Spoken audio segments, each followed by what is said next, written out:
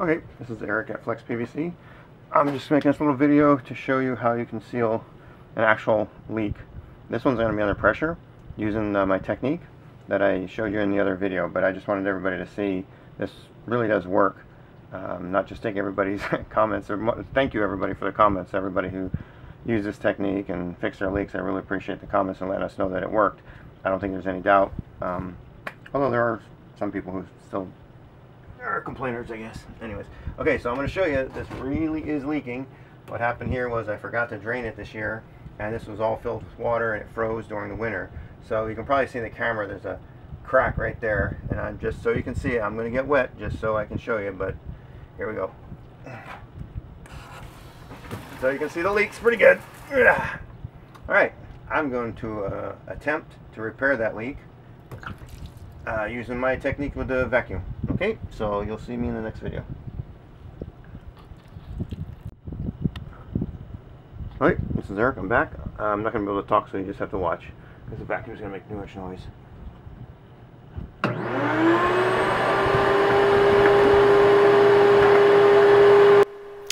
Okay, what I'm showing here is running the dauber across the crack and if you recall the crack was uh, mostly vertical so when I'm running my dauber I'm running it horizontally across.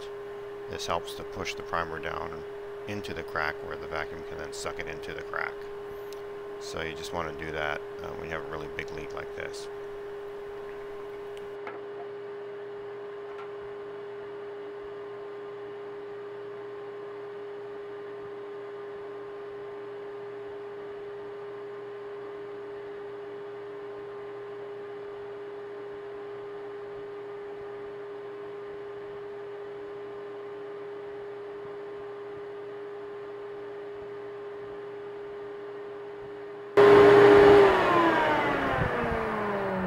just wanted to turn this off. If you, if you, I don't know how the camera's picking this up. Let me look here.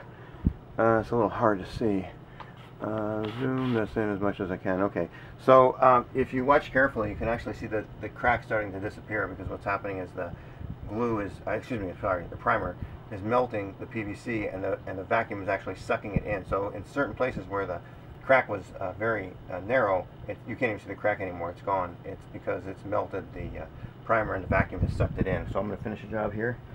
This one might take two two tries.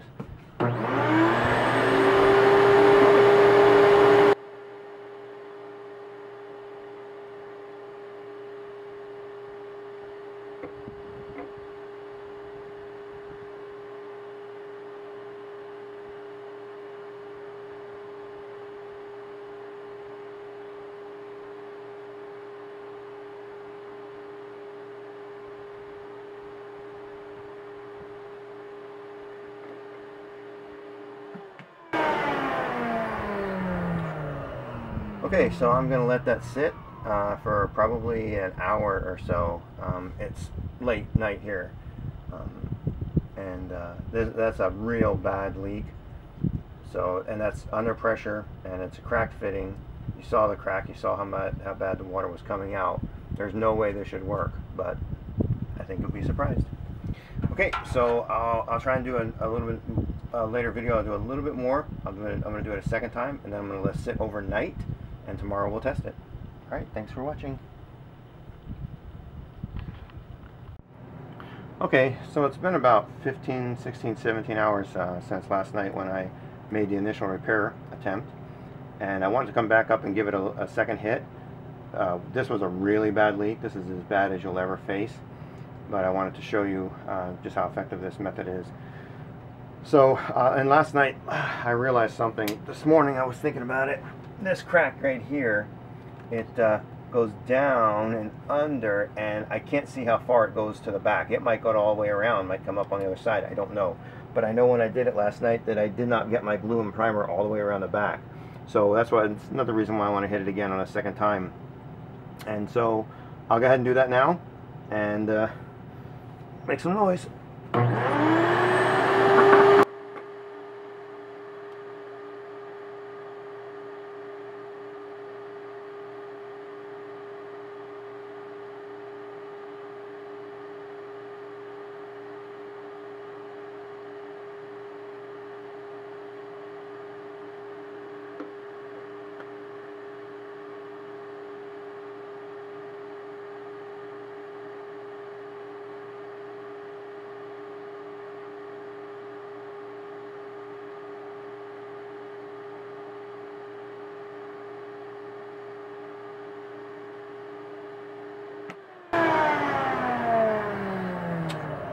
Okay, so all we can do now is wait. I'm going to let this set up uh, for several hours before I test it. Ideally, I'd like to test it tomorrow, but I don't know if I'll be able to get a chance to do that tomorrow. So I might come out here uh, later tonight and, and, give it a test. Anyways, um, I'm pretty sure that uh, I didn't get the back because last night because uh, when I hit it with the primer, I thought I heard that sucking sound uh, on the back side. So I think uh, there may have been a crack still in the back that I didn't get. So I'm glad I went through the second time. And I still don't know if this is going to uh, guarantee fix it, but I definitely wanted to show you the worst case scenario and uh, and if this uh, solution will fix the problem. Okay. All right, we'll, uh, we'll be back here probably about 12 hours from now and I'll go ahead and give it a test. Okay, thanks for watching. Okay, YouTube, it's now been about 40 hours from when I made the initial repair right in here. And then last night I came and did a follow-up repair because I was worried that I didn't get my glue and primer all the way in the back because this crack went down here and went around and I couldn't see how far it went in the back. And I realized after I did it the first time that I needed to come back and hit that again. So so uh, after the first day I came and hit it again, so I'm now about 40 hours. So I put a pressure gauge on here because I'm afraid there's a lot of negative people on YouTube and somebody might say I'm trying to cheat. And so there's a gauge on it so you'll be able to see the actual pressure come up. Alright, here we go. Let's see what happens. I'm going to go kind of easy on it first. I don't want to hit it there. Okay, I can see some water drip already out of the gauge right there. So we definitely have some. There we go. Oh, that's a crummy gauge. Not our Great Flex PVC gauge.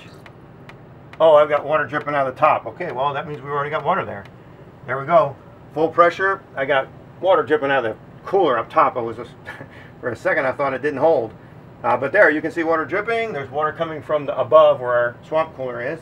But you will notice that gigantic crack that was shooting water all over the place is now sealed. Now, is this a permanent repair? Probably not. If I were to hit this, uh, it would probably break open. If it freezes again, it will definitely break open. But of course, after this, I'm going to make sure I never forget to drain this in the winter so that this doesn't crack again. Eventually, I'm sure I'll end up replacing this tee because uh, I just don't want to take a chance. I mean, somebody could come in here and bump this and it might pop it open. But I just, I, I had an opportunity. I saw the crack. I said, there's a good chance for to show people that the, uh, the repair really does work and you can see the actual technique. Uh, one thing I did, I don't know if I said it when I was doing it because the vacuum cleaner was running, uh, I really used a lot of primer, okay, a lot. Uh, I knew this was going to be a real difficult repair. It was big, it was uh, spreading wide open, so I needed that um, primer to get really sucked in there. Also, I didn't get a perfect vacuum because this is the line going to the cooler and up at the top, I don't know if you can hear it filling right now, but up at the top, uh, the valve was open because there was no water in the cooler. So uh, it, it, was a leak, so to speak. Uh, it's a tiny little quarter inch copper line, so it wasn't a big leak, but it wasn't a perfect vacuum.